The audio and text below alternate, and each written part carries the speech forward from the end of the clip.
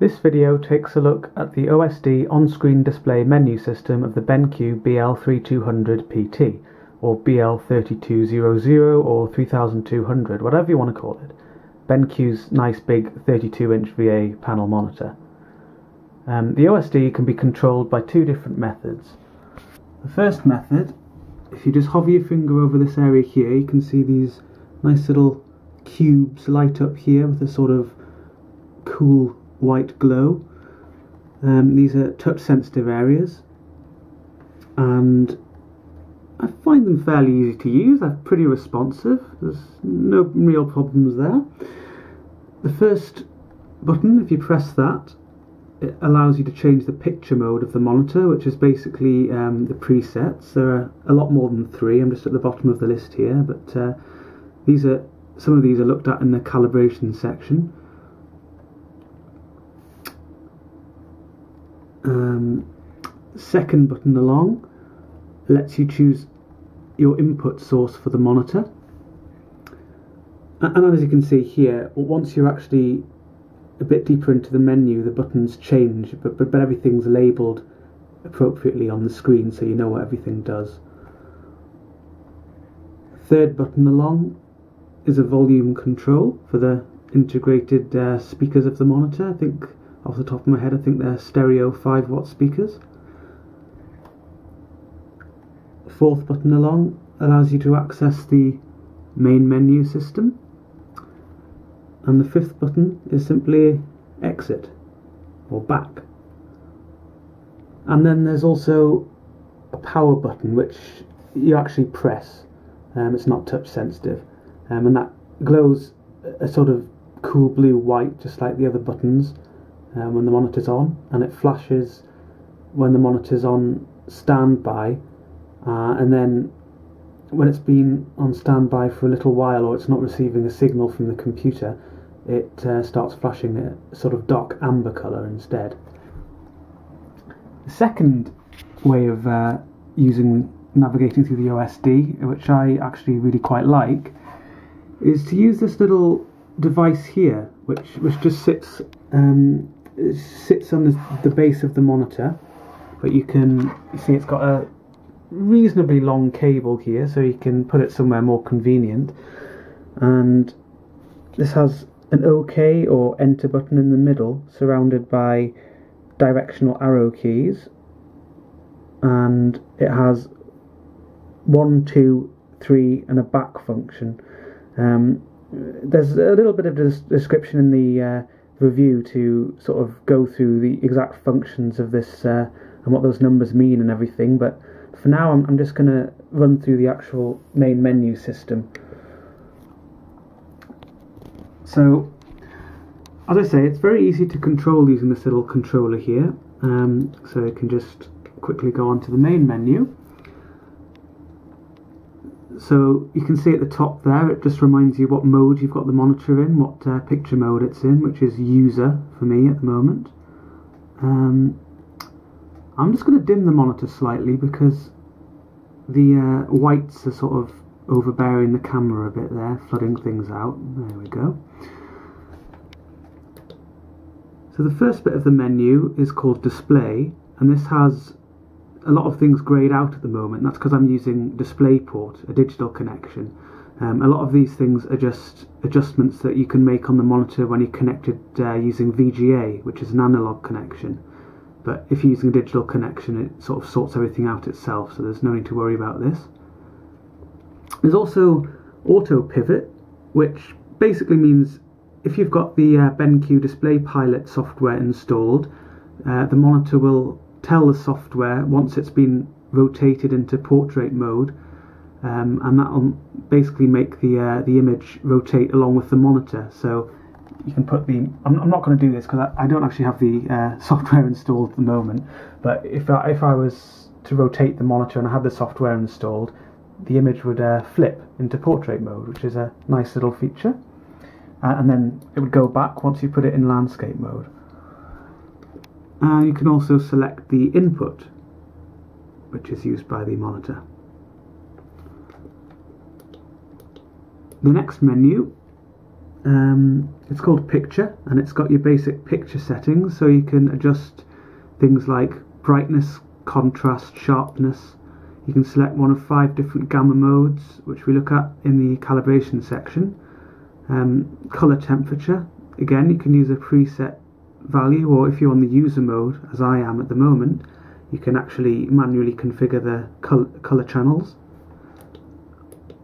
You can adjust the hue, saturation. Uh, some of these options, actually, I should mention, some of these options aren't available in all of the different picture modes. Um, in the user one, which I'm using at the moment, they're all accessible, but if you see some grayed out, it's because you're not using um, the right uh, picture mode for that setting. Can reset everything, or in fact just reset the uh, the picture menu settings there, if you've uh, sort of messed things up a bit. And then there's AMA, which is stands for Advanced Motion Acceleration, and that's BenQ's pixel overdrive or greater gray acceleration feature, which again is talked about in the review. Next, we've got Picture Advanced, and that allows you to, um, as another way to access the picture modes of the monitor. And if you if you select a certain picture mode, for example, the low blue light setting, which again we look at in the review, this is this is um, something that has a few sub options. So you see the menu extends out a bit more there. So if you select this using the sort of quick key feature and don't go through the main menu system, you can't actually adjust the sub sub menu setting there. So you see at the moment I've got it on reading mode, but if I were to I could change it to uh, Office, web surfing, or multimedia as well, which are different settings. Um, you can see certain other features here are grayed out. That's because I'm I'm running the user mode and as mentioned in the calibration section some of the features are only available in certain modes um, so if I select the photo mode here for example you can see that a few extra options are available there's Senseye demo um, which Senseye is just basically a BenQ marketing term for the, um, feature that's associated with some of the picture modes for example the photo mode and all it really is is a, an extra saturation booster. It makes the image look um, more saturated but less realistic. So you can see on the left side of the screen what the preset would look like like if Senseye could be disabled, which it can't incidentally. And on the right side of the screen you can see what it looks like with Senseye enabled.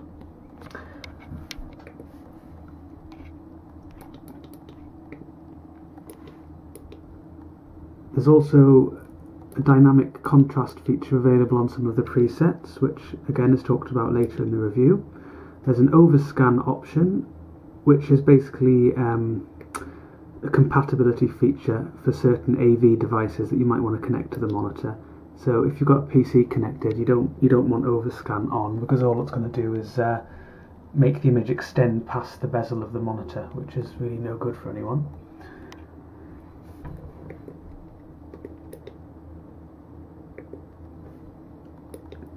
There's a display mode feature, it's quite comprehensive actually. Um, you can see some options are grayed out here. That's because I'm running the monitor in the full native resolution, so you can't use this aspect or one-to-one -one pixel mapping feature.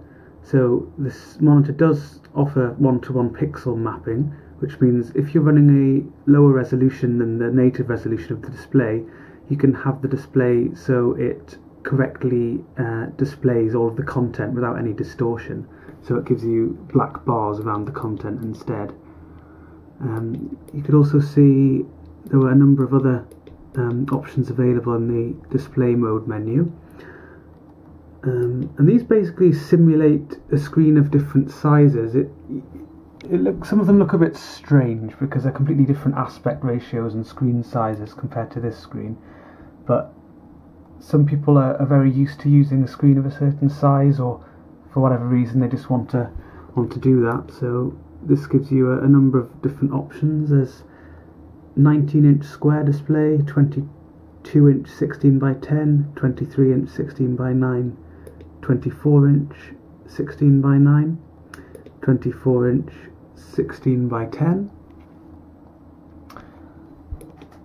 and uh, some more. Um, 27 inch 16 by 9 27 inch 16 by 10 and even 30 inch 16 by 9 so some people might quite like to use that feature. I'm not really too fussed about it myself. Next up's the audio menu which simply gives you a few quite self-explanatory options to adjust the speaker volume to mute the speakers and change the audio source of the speakers. Then there's the system menu which allows you to change a number of different OSD settings. For example, you can change the language of the OSD, you can adjust the amount of time that the OSD is displayed before it disappears, and you can activate an OSD lock. There's three custom keys and the custom keys are when you're not in the menu the custom keys are basically the first second and third buttons on the monitor. So just to remind you by default they're picture mode input and volume. But if you go into the menu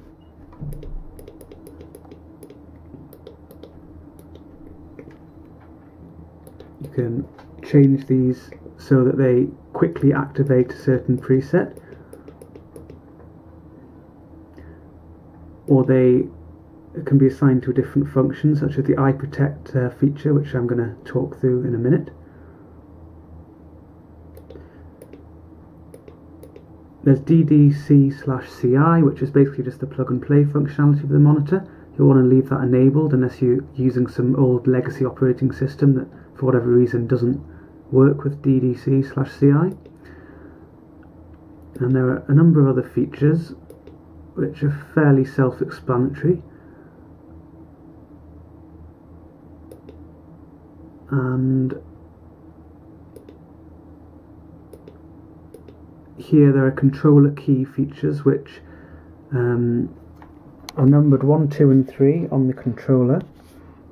So 1, 2 and 3 and they're something we talk about in the um, the review and they're, they're very useful. Um, you can again you can set these to give you a preset of your choice. And the reason some of these are grayed out is simply it's not because you can't select them it's simply because they're used by other controller keys at the moment. They're assigned to controller key 2 and 3 so that's a nice little feature there. You can reset everything to the factory default if you'd like. And then there's the ergonomics menu. And some of these some of these features aren't available in certain presets. I'm, I'm actually running the standard uh, mode at the moment, which gives you access to all of the ergonomic features. So there's an eye protect sensor, and that's the ambient light sensor of the monitor. And what that does is adjusts the brightness of the screen in accordance to your room brightness. There's also eye protect meter, which basically just allows the monitor to, to show you what the uh, eye protect sensor is doing with an on-screen notification. So now I've got that on, you'll see this little eye symbol here with a bar under it, and that's basically just showing what the brightness of the monitor is, and it's changing according to what this sensor in the middle here picks up.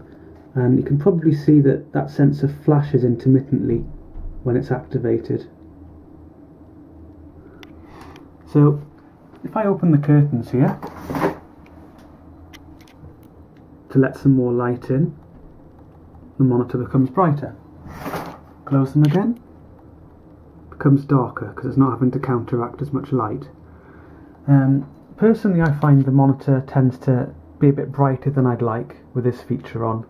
Um, but you know, it's it's down to personal preferences, and some people like the monitor to automatically adjust when it's night time or when the lighting conditions change, so it's a nice little feature. I'm just going to, nice though this feature is, I'm just going to turn it off for now.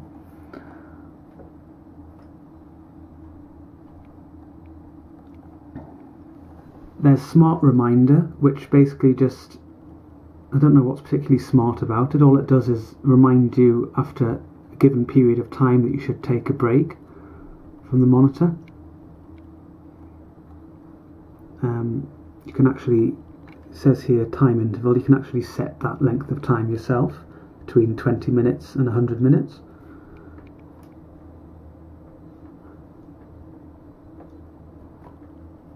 I missed missed one out here. Duration. Um, I have absolutely no idea what that does I'm afraid. I'm sure the manual says but uh, I'm not one to read manuals for monitors I'm afraid. And the last section of the menu is Eco and this gives you access to the Eco sensor. Again which has a meter function to show you on screen what it's doing. And this is the proximity sensor again contained in the center of the monitor and you can see again when this is activated the uh, monitor starts flashing it probably appears quite bright on the video but the flashing is actually uh, not very distracting at all. I mean, I hardly noticed it until I was recording this video and turned these features on anyway. But when these features are off, it uh, doesn't flash, incidentally. And there the monitor menu's just disappeared again. So you can set set the um, the range of the sensor as well. Um, it's set by to far by default, which works well on my desk, but you might be working in a, an office or a room where people are sort of milling about in front of your monitor even when you've left and you're not at your desk so you might want to use a middle or near sensor range to, to make sure the monitor doesn't pick them up and then activate itself so if I get off the menu here and then walk away from the monitor. And zoom in a little bit. You can see that symbol there? That's just telling you that the monitor hasn't detected um, anybody tripping its sensor and it's about to turn itself off. Takes a little bit of time so it tries not to go off with false positives so to speak.